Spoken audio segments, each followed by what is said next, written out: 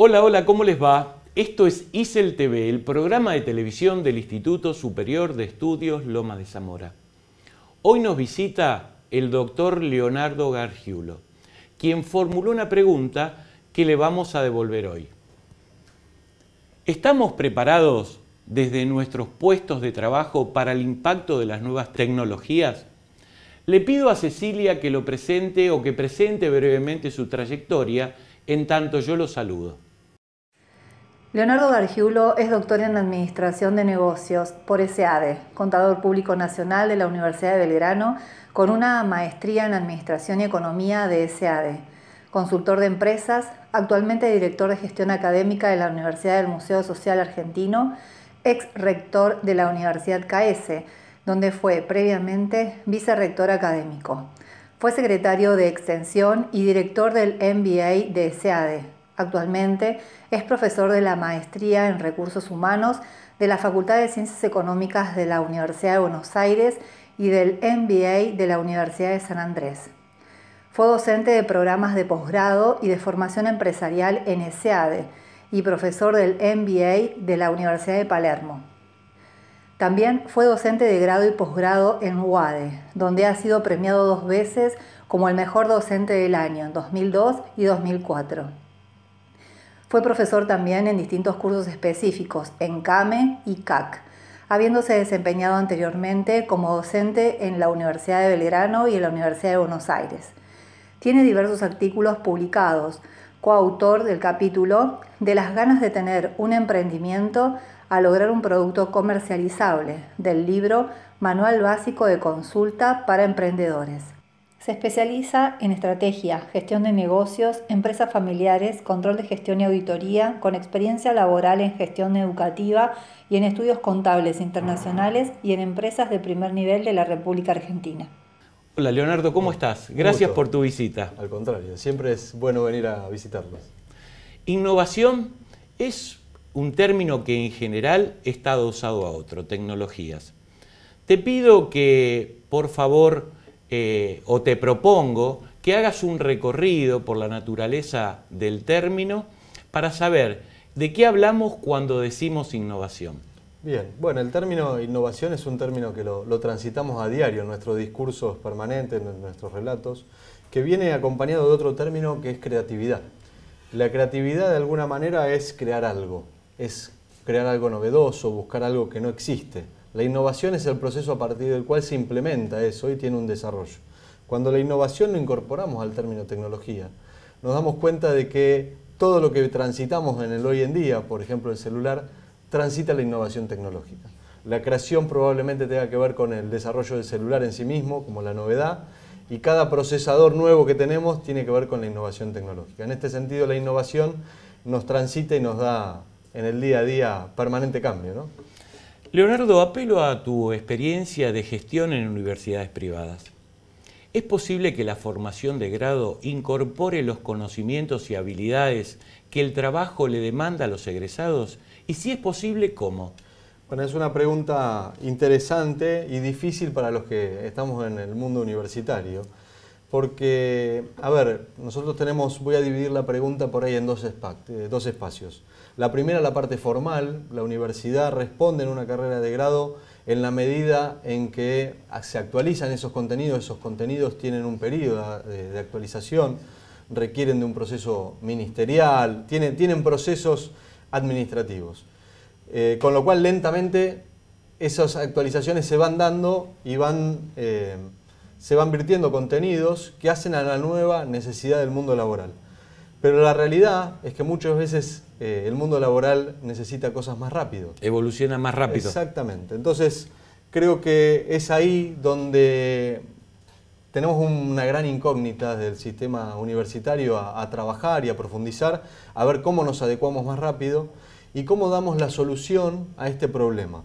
Eh, esto no obstante de que nosotros somos graduados universitarios, terciarios, y eso no implica que yo ya esté actualizado Hoy el mundo nos lleva a estar actualizado permanentemente. Cada año debo actualizarme, modificarme. El mundo se está moviendo muy rápido, mucho más rápido que, que todos nosotros a veces. Leonardo, te doy la oportunidad de ganarte al público femenino. ¿Las mujeres son más y mejores innovadoras que los hombres? Bueno, primero la respuesta va a ser de cortesía, es claramente sí. Y después vamos a responder. ¿Y la verdad? Y la verdad es, es que la verdad que las estadísticas muestran que sí. Las estadísticas y los informes a nivel nacional y también mundial, lo que están mostrando en, este, en esta etapa de nuestras vidas es que la mujer es eh, más emprendedora y más innovadora que el hombre. Yo cuando de alguna manera me, formulas la pregunta, me vienen a la mente dos personas, una eh, quizás más antigua, otra más contemporánea, que tienen que ver con el emprendimiento y la innovación. La primera es la Madre Teresa de Calcuta. Digo, más allá de que era sobrenatural o espiritual, era una emprendedora y una innovadora en lo que hacía y en lo que desarrollaba. Y la segunda es todas aquellas mujeres que, digo, en la parte social, hoy que la Argentina vive un tránsito especial en ese tema, que se están dedicando a poner el hombro y a llevar adelante una cuestión social. ¿no? Y esto no implica que la mujer solo en esos espacios esté ganando relevancia, en la parte tecnológica, en la parte de emprendimientos, de negocios en general. Pero digo, son dos ejemplos concretos que, me vienen a la mente. ¿no? El desarrollo científico implica investigación y la investigación financiamiento. El sistema universitario no es homogéneo y no todas las universidades destinan fondos para la investigación. ¿Cuál es tu perspectiva al respecto? Bueno, mi perspectiva en, principio sobre el tema de investigación, que es un tema complejo para un país como Argentina, si lo queremos hablar seriamente. Yo creo que hoy en día la Argentina se debe hacer un planteo en este, en este punto. Argentina casi no tiene niveles de patentamiento, las patentes vienen del área de investigación. Creo que debemos dividir hoy lo que es investigación científica, ¿sí? más teórica, de lo que es la investigación aplicada. Creo que Argentina tiene una oportunidad muy grande en lo que es la investigación aplicada. La investigación aplicada habitualmente surge de los consorcios. Hoy, a ver, la universidad no lo puede hacer por sí misma. Eh, primero la Universidad Pública Nacional. ¿No lo puede hacer porque no dispone fondos o porque no está dispuesta? Es ¿Cuál es la capacidad que le falta para hacerlo? El recurso económico siempre es limitado. Y ante ese recurso económico limitado, eh, hacer trabajos que implican cierta seriedad, eh, a veces hay una cuestión de prioridades que lo hace difícil. La Universidad Nacional Pública recibe fondos del Estado para hacer investigación y es la que probablemente trabaje sistemáticamente en esto. Eh, la universidad privada requiere de su propia iniciativa, de su propia eh, consecución de fondos para lograr la investigación. No obstante, se están haciendo muchos desarrollos en, las universidades privadas sobre el área de investigación, pero yo creo que le deberíamos ponerle prioridad a la, que esto sea aplicable. Existió mucho lo que era la investigación científica, que es muy interesante, eh, pero hoy me parece que necesitamos más algo concreto, algo de que la investigación sea aplicada. Hay muchas universidades que ya lo han empezado a hacer insisto, tanto públicas como privadas, que hacen este consorcio de juntar empresas o una parte privada interesada, puede ser una, fundación o una organización, la universidad como la que pone el capital intelectual, y el Estado probablemente como que tiene alguna iniciativa, un área de vacancia que cubrir y que desarrollar. Y ahí se da un consorcio muy interesante donde es una economía de escala para todas las partes y donde se logran mayores resultados. El otro esquema que, está sucediendo a nivel de investigación es propiciar redes. Redes en las cuales tu esfuerzo y el mío son colaborativos y no competitivos. Antes nos pasaba mucho que aún en investigación, con un recurso escaso, los dos investigábamos sobre lo mismo y poníamos recursos por separado. Y hoy la idea es empezar a generar esas redes que nos lleven a desarrollar un poco una investigación que tenga una transferencia concreta a la sociedad. A eso iba y para entender un poco mejor. Cuando hablas de investigación aplicada, que nos hace falta desarrollar investigación aplicada, ¿te referís eh, o, lo vinculás este, con el saber, con el conocimiento o con un área economicista? Creo que se dan de la mano, pero básicamente creo que termina en un área economicista, en un producto o en un servicio que termina apalancando la posibilidad de seguir financiando inversión.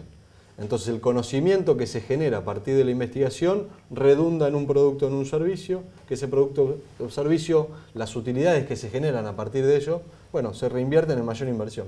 Hace no mucho tuve la posibilidad de conocer algunos laboratorios del INTI. Y realmente hay, una, hay un capital ahí humano, intelectual, de desarrollo muy grande. Pero lamentablemente la mayoría de esos productos no, terminan en productos concretos o desarrollos concretos. Por ahí unos pocos y no quiero ser injusto, por ahí algunas áreas más que en otras. Pero me parece que hay una, una oportunidad perdida que si le ponemos inteligencia nuevamente, desde el punto de vista de sociedad, cómo articular todo eso, se pueden generar muchísimas cosas con lo que ya ha logrado.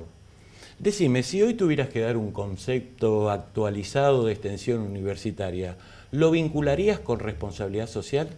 Yo creo que la extensión es un concepto un poco más amplio. Sin duda hoy la extensión contiene la responsabilidad social. Hoy las universidades cada vez más es un tema que nos atraviesa y es transversal hasta te diría la mayoría de los programas que tenemos académicos. Hoy se está pensando que los planes de estudio, así como en su momento era la ética, incorporar la responsabilidad social como una materia transversal a la mayoría de esos programas. ¿Y no hay una vinculación directa con la, con la ética? Hay una vinculación, pero también hay enfoques diferentes. Sin duda todo tiene un componente ético, eh, sin duda, eh, pero la responsabilidad también es una conciencia respecto a otros factores que por ahí hoy en día en nuestra población hay que seguir desarrollando. Van a terminar en una conducta ética, pero todavía hay que desarrollarlo. Respecto al tema de extensión, la extensión, a ver, eh, a nivel universitario, la extensión es la transferencia de conocimiento, no solo al colectivo de la gente que estudia en el paraguas de una carrera, sino al público en general. Eh, esa transferencia de conocimiento es cultural, es de una expertise particular, y creo que es una de, los, eh, de las funciones primarias que tiene la universidad, así como lo es la investigación, lo es la docencia, la extensión, es esa pata fundamental que da la transferencia de ese conocimiento y que tiene que dar cuenta de lo que es la responsabilidad social. Yo siempre trato de decir que el que se mueve en educación no solo tiene que hablar desde la tribuna de la educación y dando cátedra, sino que se tiene que comportar de manera educada. Entonces la mejor forma de trabajar en este área es siendo en cada acto haciendo educación. Entonces yo creo que desde ahí parte la extensión, desde ahí parte la investigación, desde ahí parte la educación en general. Apelo nuevamente a tu experiencia, Leonardo. ¿Los estudiantes argentinos tienen la posibilidad de acceso a becas? Sí, yo te diría que cada vez más. No te veo muy convencido. Sí, no, me dejas pensando desde el punto de vista de qué tipo de beca. Hay becas, por ejemplo, durante muchos años existieron las becas Progresar, después se discontinuaron, hoy siguen. Eh, hubo becas para aquellos, que, porque Argentina entendía en un momento que el, campo de la ingeniería era un campo que tenía que desarrollar y hubo becas para esto. Pero digo, me quedo dudando porque la realidad es que pienso que aquel que busca una beca, aquel que quiere acceder a una beca, si realmente trabaja para ello y es una persona destacada, lo va a conseguir. Entonces, eh, la realidad es que las becas siempre son limitadas, pero quien trabaja y quien hace el esfuerzo para lograr una beca, no tengo duda que la consigue. Eh, quizás es como, eh, como el inversor en un emprendimiento.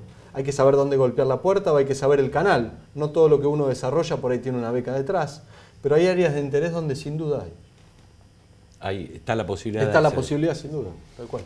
Leonardo, comparte un párrafo para pedirte que discutas con esa idea. Las nuevas tecnologías requieren del factor humano para poner de manifiesto todo su potencial.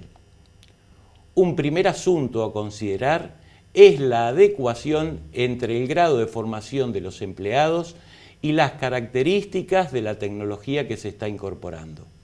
Aún así, disponer de personal formado es condición necesaria, pero no suficiente. Bien, bueno, es un, párrafo que da para, charlar mucho y para pensar eh, en conjunto, ¿no? Eh, a ver, sobre este tema se está discutiendo a nivel mundial. Eh, de hecho, hay dos grandes personalidades del mundo que son Elon, Musk y Jack Ma, de uno de Alibaba y el otro de Tesla, que tienen visiones diferentes sobre esta perspectiva del impacto de la tecnología. Lo que está claro es que el factor humano en la tecnología es clave. Es clave respecto a cómo lo aborda. Digo, si hay un ser humano que no, quiere desarrollar la tecnología, la, tecnología no, se potencializa, eso, eso está muy claro. El punto es qué responsabilidad eh, nosotros tomamos ante las personas que tienen que afrontar ese cambio que es del tecnológico. Yo creo que el punto central de todo esto es la tecnología está, llegó, es como Uber. Es difícil sacar a Uber es un sistema que de alguna manera se adquiere, la tecnología, el celular todo lo, tenemos, todos estamos en algún programa, alguna actualización, ¿cómo lo sacamos de nuestras vidas, de nuestros medios? Ahora al trabajador le cuesta eh, de alguna manera adecuarse a cierta tecnología, porque aún el que está preparado también tiene su incertidumbre. Yo ahí es donde digo que la responsabilidad también es de aquel que incorpora la tecnología, de ir preparando ese, ese camino, de ir formando a las personas, y no me quedo afuera como universidad, para enfrentar y concientizar en ese aspecto. En ese sentido, eh, lo primero que tenemos que hacer es formar al trabajador, al, ser humano, para enfrentar a la tecnología, darle a la tecnología ese potencial y empezar a partir de eso a, generar el desarrollo que pueda tener la tecnología, pero dando contención a esa persona que por ahí en el medio en que le da apuntar a la tecnología tiene miedo por ese reemplazo. Digo, cuando hace 20 años atrás hablábamos que el sistema venía a reemplazar a la persona, ¿se acuerdan? El primer cambio era, me traen el sistema y me quedo fuera del trabajo. Eso pasaba en los años 80. Digo, hoy, salvando la distancia, es mucho, hoy traigo un robot que por ahí está haciendo la misma tarea que hago yo y también la persona puede decir, pará, yo lo tengo que poner, ese robot en funcionamiento, pero es el que me va a desplazar a mí. La innovación tecnológica ¿Es una oportunidad para nuevos desarrollos en la Argentina? Claramente, claramente. Creo que es uno de los principales hechos que la Argentina tiene para ponerse en el mundo. Para insertarse, tan, tan, de moda que está hoy esa expresión. Y tenemos la oportunidad del capital humano. La Argentina tiene un capital humano inmenso. ¿sí? A ver, uno va a Europa, va afuera y dice el, argentino por la cantidad de crisis que hemos tenido no, nos quieren contratar enseguida porque lo ven como un recurso realmente más que interesante. Y si a esto le sumamos la capacitación que tiene a nivel tecnológico, digo, me tocó trabajar en una universidad que se especializaba en sistemas. Y la realidad es que los chicos, el gran dilema que tenía yo en, en el momento que gestionaba en esa universidad, era que los chicos se insertaban rápidamente laboralmente y hacían que no, no tengan ganas de, estudiar, porque les pagaban tan bien y el desarrollo, con lo cual había una competencia con el mercado laboral. ¿Cómo es nuestra capacitación comparado con otras latitudes? A nivel tecnológico es similar. La gente que trabaja en sistemas hoy se localiza en, todo el mundo. ¿sí? En países, en Silicon Valley hay miles de argentinos dando vueltas y de primer nivel y realmente es un recurso muy valioso. Eh, eso de alguna manera nos pone, nos inserta en el mundo, nos da una oportunidad, que, es una oportunidad que nosotros tenemos que, aprovechar y, capacitar. Y de hecho, si uno se pone a pensar, Argentina tiene 4 barra 5 unicornios, es decir, empresas que valen más de mil millones de dólares.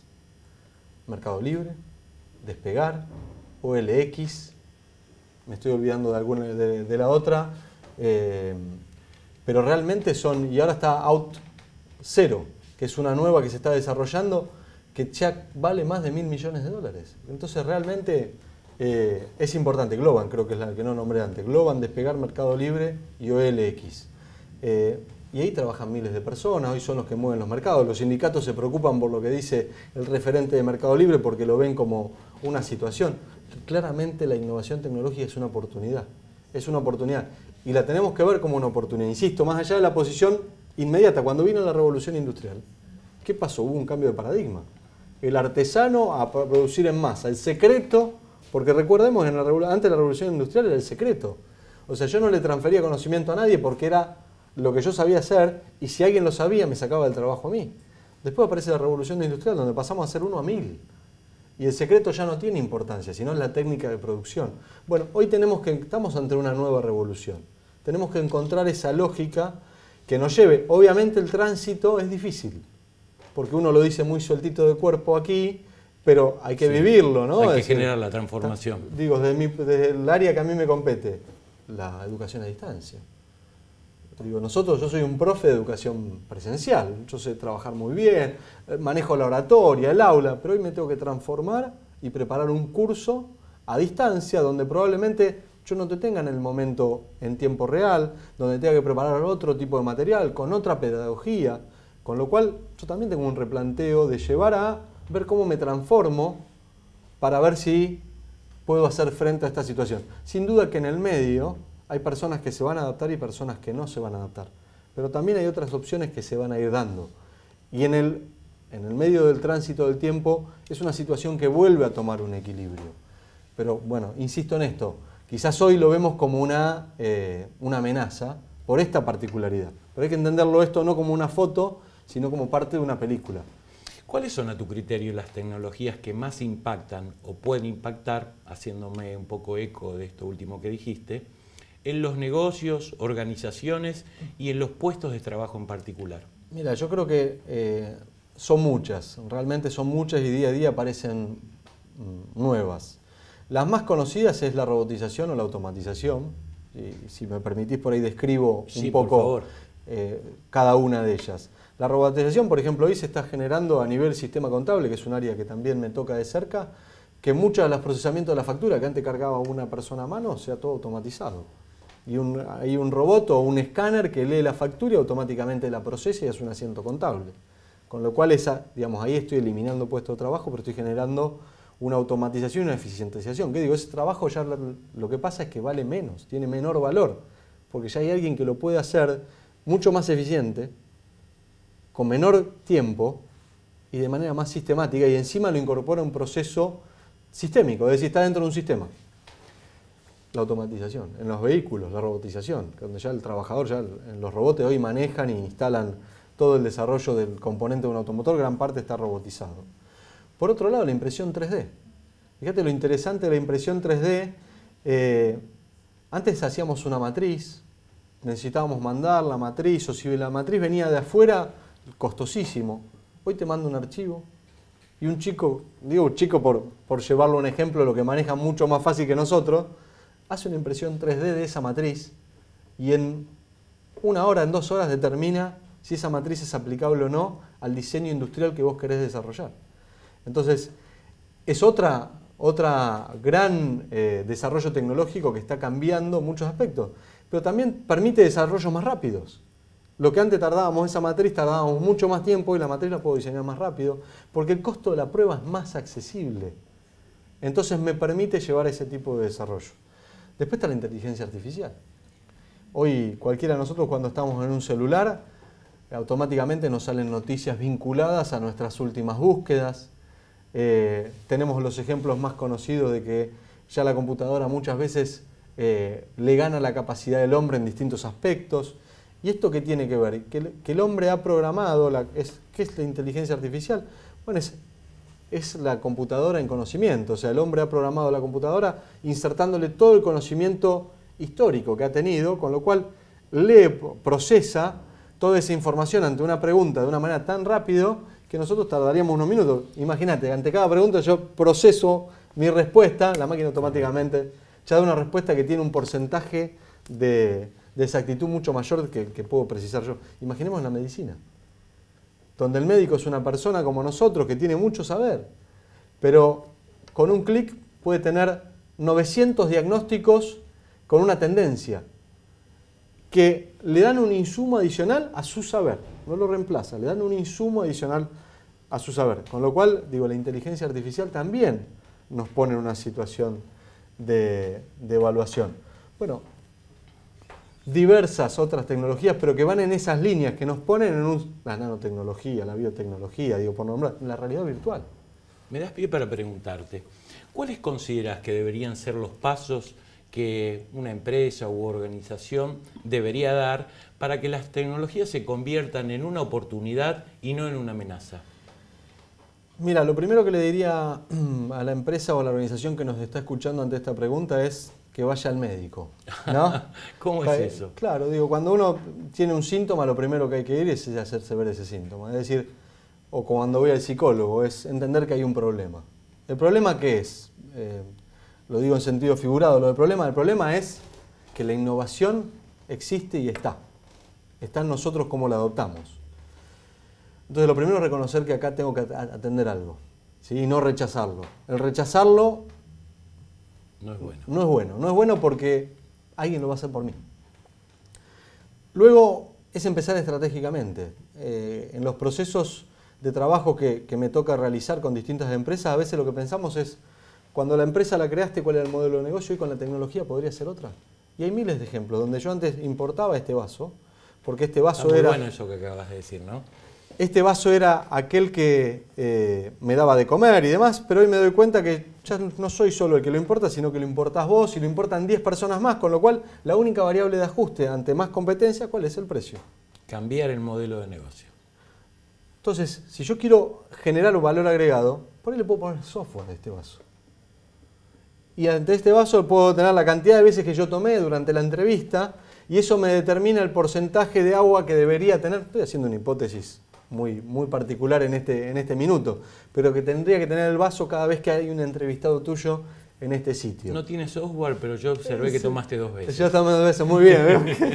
Debe haber algo de inteligencia artificial acá. Pero digo, eso es parte de el proceso que las organizaciones tienen que desarrollar.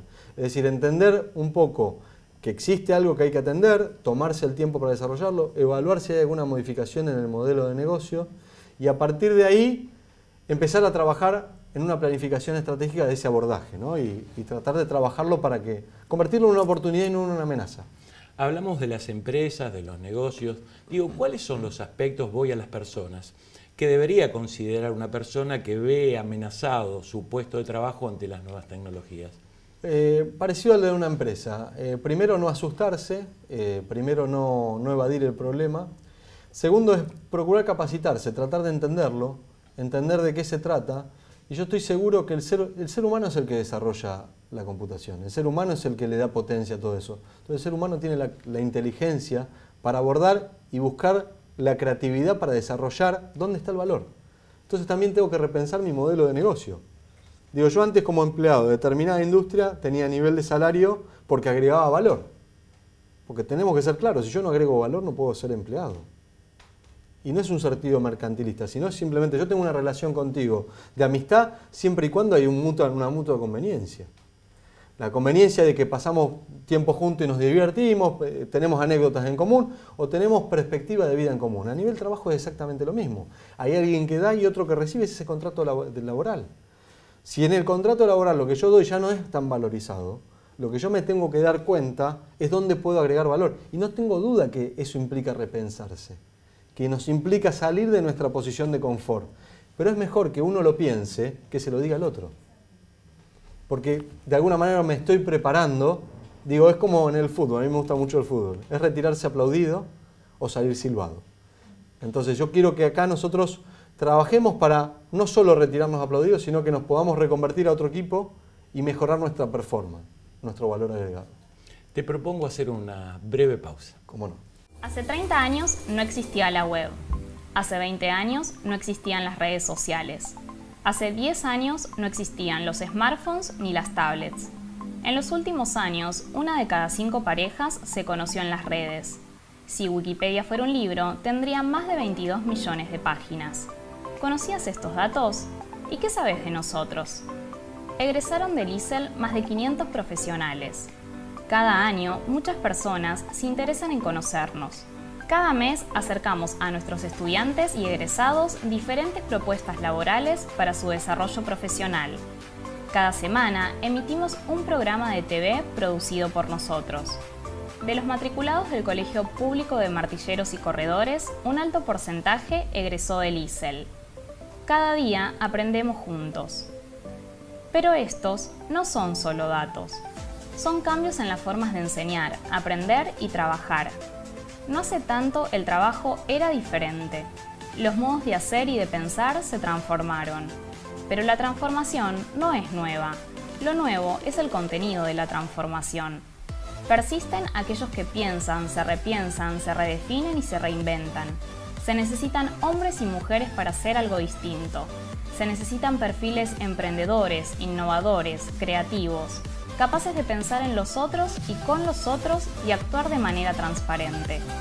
Marketing, recursos humanos, relaciones públicas, martillero y corredor público son las carreras que ofrecemos.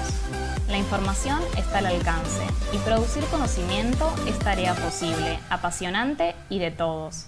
En el ISEL sabemos que estudiar da trabajo. Leonardo, otra palabreja que se incorpora en nuestro vocabulario es algoritmo. Leí que la paradoja es que no sabemos muy bien cómo funcionan, pero que eh, de alguna manera se comportan como cajas grises este, a lo que es nuestro conocimiento. ¿Deberíamos aprender a lidiar con ellos? Es difícil para el que no es del palo de la programación de los sistemas, ¿no? para mí. te diría que me sumo a tu... El tema es que es cierto que hoy todo lo que hacemos tiene un algoritmo detrás o tiene alguna inteligencia que está midiendo nuestro comportamiento y nuestro desarrollo.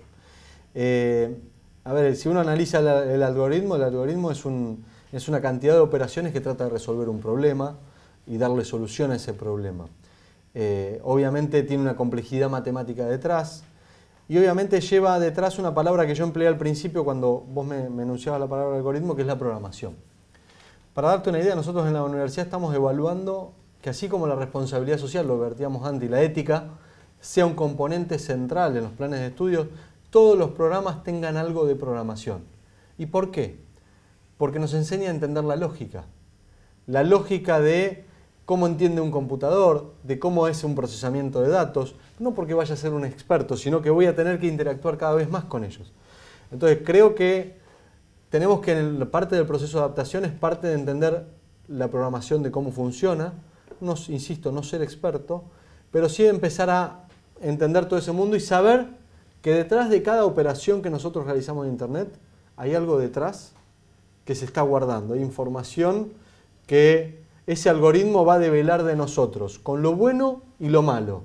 Lo bueno que es, que yo voy, gracias a ese algoritmo, a un celular, nuevamente, a partir de mi comportamiento, tengo la posibilidad de que si tengo hambre, sabe que eh, he conversado con algún amigo de que quería una hamburguesa y demás, me propone una propuesta de hamburguesa, o sabe algunos comportamientos respecto a tipos de noticias que a mí me interesan.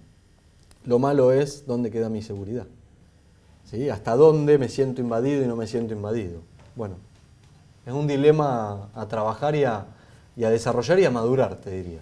E inexorablemente se impone que te pregunte qué riesgos conlleva la eh, inteligencia artificial si es que, tiene alguno, ¿no?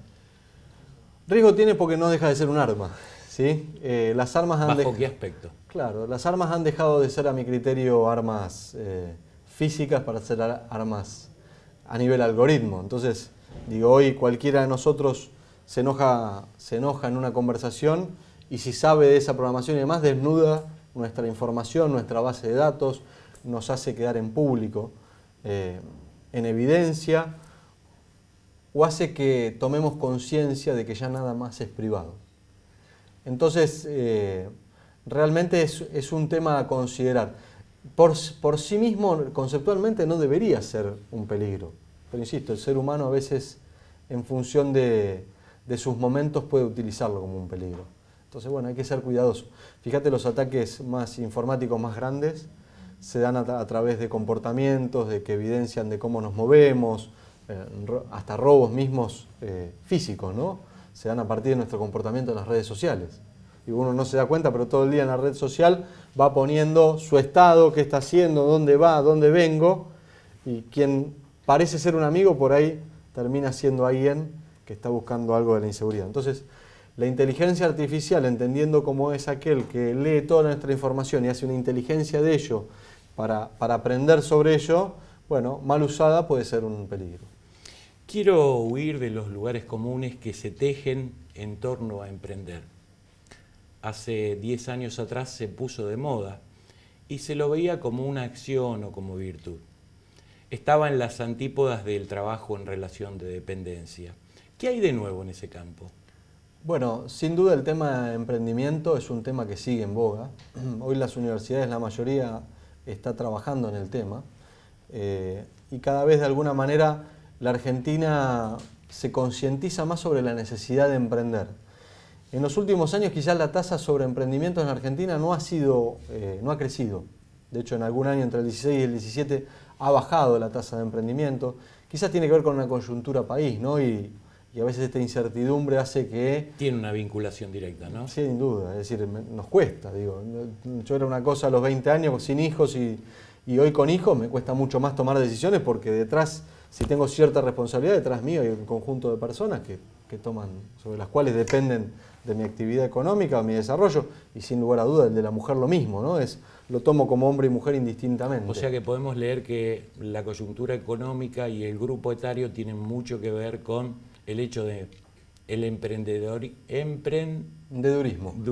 Emprendedurismo. Sin duda, los más jóvenes se arriesgan mucho más. Los más grandes lentamente lo van haciendo. Creo que hay una oportunidad. Eh, yo creo que hay una oportunidad muy grande en la etapa de la gente que se retira. Vos fíjate, 65 años hoy una persona puede ser jubilado. La mujer a los 60. Tiene 20 años promedio de vida adicional. Yo no me imagino a esa persona la expectancia se prolongó muchísimo. Y no me imagino a esa persona no haciendo nada o siendo un ser que no puede agregar valor. Con lo cual mucha de esa gente tiene grandes chances de convertirse en un emprendedor, sobre todo con su conocimiento. Yo creo que ahí hay un área a desarrollar y explotar en Argentina muy importante para que esa franja etaria desarrolle emprendimientos cada vez más. Es todo un proceso cultural, ¿no? Es todo un proceso cultural, pero que sin duda tenemos que seguir trabajando para generar esa conciencia porque el límite del trabajo no está en nuestra frontera, como hemos dicho antes, el límite de nuestro trabajo está hacia afuera. Si yo tengo una buena capacitación y un buen desarrollo, puedo vender servicios afuera. Con lo cual, la realidad es que el emprendimiento eh, tiene grandes posibilidades y sin duda cada vez más nos vamos a tener que volcar a emprendimiento.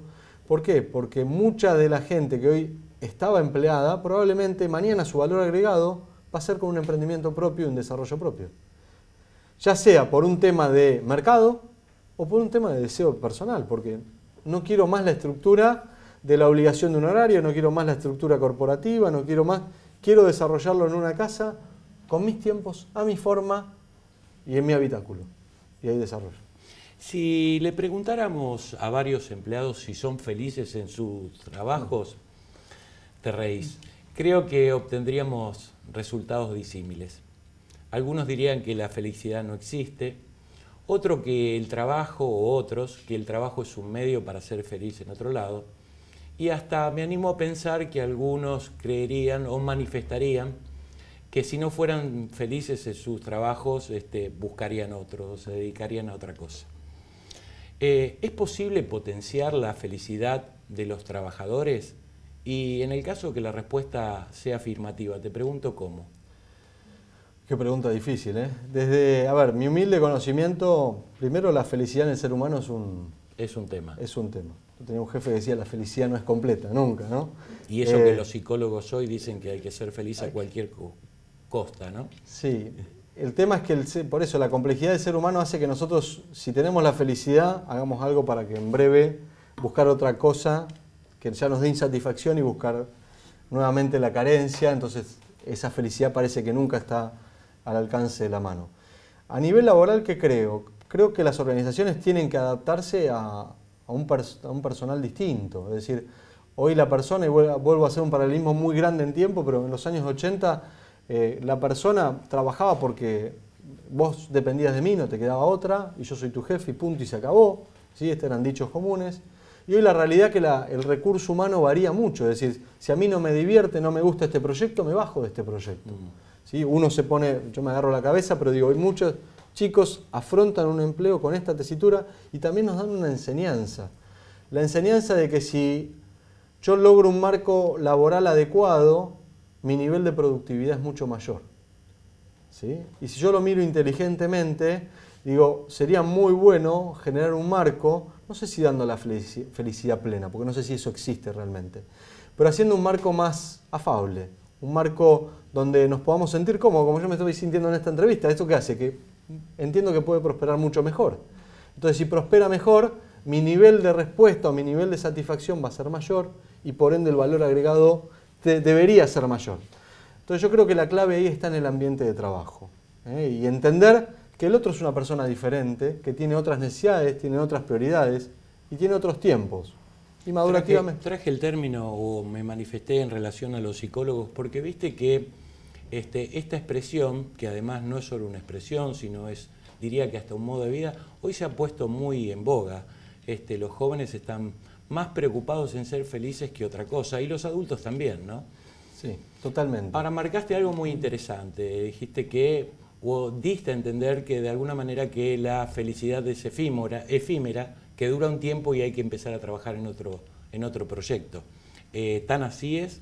Yo creo que sí. Por lo menos en, la gente que me rodea lo veo a diario que uno no termina de, tener esa satisfacción. Pero eh, yo insisto, la parte del trabajo creo que uno tiene que no dejar de mirar al otro. A mí me parece que el rol de la persona que, gestiona, el talento, hoy se le habla mucho de la gestión del talento y no del recurso humano, eh, tiene que mirar mucho la necesidad del otro. Hoy nosotros somos seres socialmente que tenemos muchas vicisitudes, a nivel familiar, a nivel personal, no tenemos la estabilidad que probablemente teníamos hace 20, 30 años atrás o quizás otras generaciones. Estabilidad desde el punto de vista, insisto, social y, familiar. Hoy todas esas variables están todas puestas en duda, hay, hay variaciones. Bueno, eso requiere de la búsqueda de una estabilidad. Entonces, el yo no entender que una persona está con determinadas inquietudes, determinadas vivencias personales, me hace dar cuenta que obviamente no va a, ser, no va a rendir en el trabajo. Yo solamente me preocupo por exigirle o me preocupo porque él tiene que hacer esto y punto. Creo que parte de ese entendimiento es el que nos debería ayudar a generar bueno, mejoras, mejoras eh, productivas y mejoras en las personas. Yo creo, eh, creo que lo decíamos fuera de cámara, pero quien todo el tiempo que tiene la responsabilidad sobre otros, eh, de tener una posición de liderazgo, de educar, de cualquiera fuera, tiene que todo el tiempo dar ejemplo y ayudar al otro. uno nunca debe dejar de dar un servicio respecto a un aspecto de, de ayuda, porque si no, lo único que hacemos es tener mi ganancia y no me importa qué pasa contigo y así nunca vamos a construir una sociedad en serio, ¿no? Creo muy cierto lo que decís y lo comparto. Recurro nuevamente a tu experiencia y tu conocimiento. ¿Dónde tienen puestas hoy las universidades el horizonte desde el aspecto tecnológico? Y es muy variado, es muy variado. A ver, te diría que hay universidades que se están preocupando por desarrollar carreras tecnológicas, netamente con, con sentido de aplicación inmediata laboral, eh, insisto, hay universidades que están pensando en nanotecnología, en biotecnología. Eh, hoy el tema de energía renovable también tiene todo un desarrollo detrás. Eh, con lo cual te diría, en ese caso, creando nueva oferta educativa para atender esa cuestión. ¿Vinculadas con el área laboral? Vinculada con el área laboral, sí, porque hoy hay, por ejemplo, a nivel ingeniero, hoy vas a una empresa de sistema y te dice, vos mandame gente que programe porque trabajo me sobra. o sea, faltan programadores.